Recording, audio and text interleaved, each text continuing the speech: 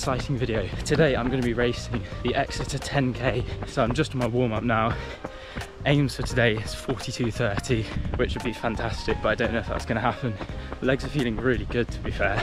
Kind of excited to see how this pans out. Drill strides, and then on with the race. Okay, I've just run along the first kilometre or so of the course, and it looks absolutely beautiful. It's such a lovely day maybe a bit warm. It's about 20 degrees, which is quite warm, but um, I don't know, I don't think I mind that. We've had such rainy weather recently. I'm kind of glad of it. Ready to get this done. We've got some really, really fast people today, so there might be a little bit of lapping, so just be mindful. Three, two, one.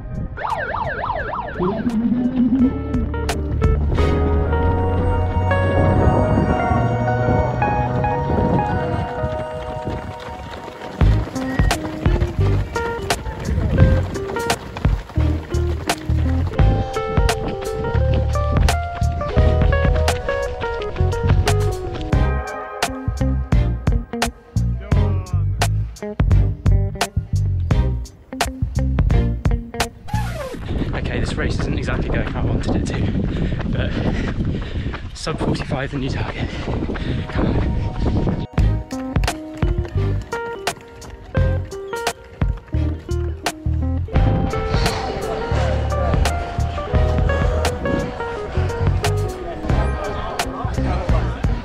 Okay, needless to say, not the race I wanted. Stomach gave up halfway through basically. Paces are a bit weird. I'll have to look at that when I get back a bit all over the place. But yeah, main thing was just stomach cramps. Um, and then it actually eased up around 9k. Um, basically did a big fart. I know that's a bit too much, bit TMI, but that's what happened. Uh, I felt okay, and then so aimed for sub 45, which I got just about. So yeah, can't be too displeased with that. Just a bit annoyed it wasn't what I'd really hoped for, basically, but not too bad.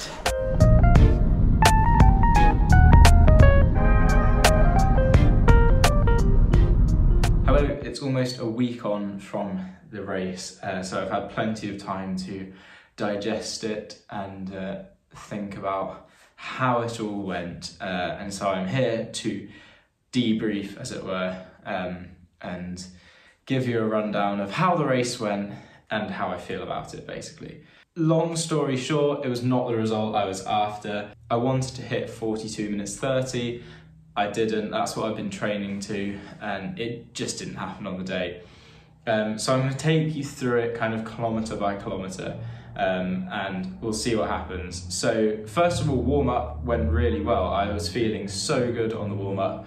Race starts. First kilometre, 4.08. Obviously 42 minutes 30 is 4.15 per kilometre. That's quite a bit under and I was really trying to hold back. 4.08 first kilometre, but I thought, feels good, let's just slow down a bit and settle into a pace. Second kilometre was then 4.14 and I was thinking, good, that is pretty much exactly on pace. I'll just keep this kind of feeling for the next kilometre. There were a couple of people around me, so I thought I'll follow these people. And then I looked down on my watch on the third kilometre and it said 424. 424, like that is ridiculously off pace and I felt like I was putting in the same amount of effort. And that obviously got me slightly panicked. It says my heart rate here is already up to 189 BPM. It was it was hot, but I'm slightly doubtful of that because 3K and I was feeling I was still feeling pretty good aerobically. I was I was feeling good in general actually. So panicked a bit, got it down again, 4th K, 416 and that's when we got onto the gravel section. So the route was one kilometer out and then two loops and then one kilometer back. And half the loop was alongside a canal. It was paved it was really lovely. And then the other half was gravel but it was quite big kind of chunks of rock. So my ankle would kind of go over a little bit. You had to be careful picking your um, route. And i was following this um, fantastic woman who ended up finishing with a new pb i think.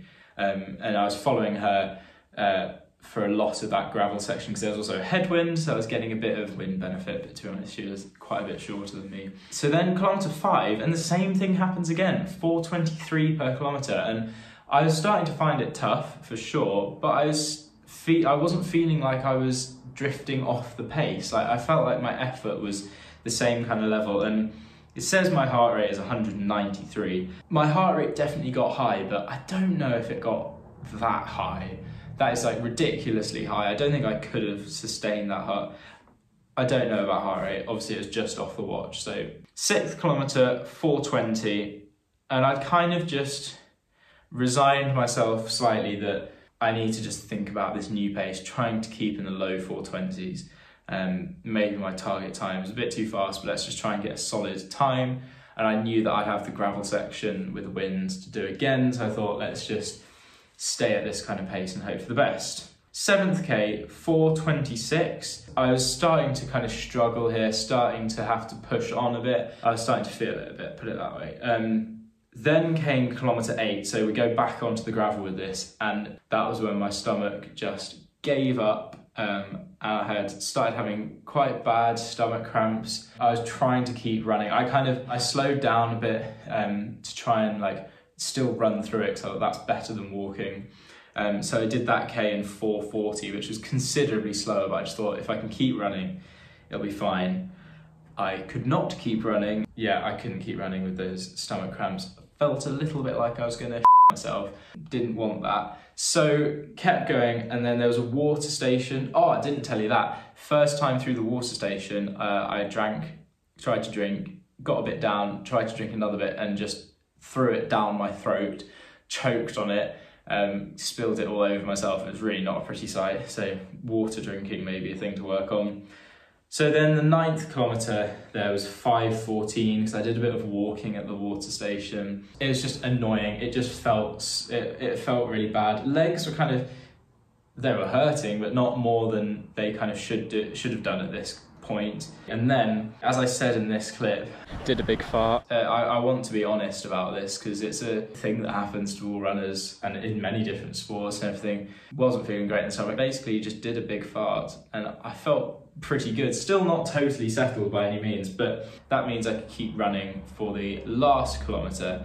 Um, and I looked down at my watch just before the last kilometre and it said like 40, 30 or something. I was like, okay, we're getting sub 45 if it kills me. And so I started running again, and the last kilometre was 4.36, which I'm very happy about. The last nine seconds apparently was 2.59 per kilometre, so I clearly had a bit of a sprint in me because I wasn't feeling dreadful. Like I was feeling bad, but not worse than I was expecting. It was just the stomach. So there you go. 44.48 was my um, official time. Two and a half minutes off what I wanted to get, but you know, that's what happened on the night. It was really hot, to be fair. It was 21 degrees. The UK has not been having a very good summer so far, with a lot of rain and quite cold, which I guess is better than soaring temperatures and climate crisis. But I still kind of enjoyed the race. I think I pushed myself pretty hard with not walking as soon as I wanted to. Um, so I'm happy with that. I'd like to do another 10k race because I think I definitely have 42.30 in me. Going forwards, some things I'm going to do in the next kind of block of training is work on core because I think that'll help. So I'm going to try and strengthen my core a bit and just do more strength work in general. So trying to strengthen the legs.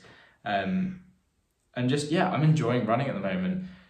Keep enjoying it. I'll try another 10k at some point. I'm not in an absolute rush. I will get that 42.30 at some point. Anyway, thank you very much for watching this video. The next videos that you will be seeing on this channel will be the start of my run up to the Great North Run. Um, and I won't talk about that too much now because I have kind of my plans for it, as it were, that I'll share with you in a later video. But uh, look out for that. Subscribe if you want to. Don't if you don't. Uh, thank you very much for watching and I'll see you in the next one.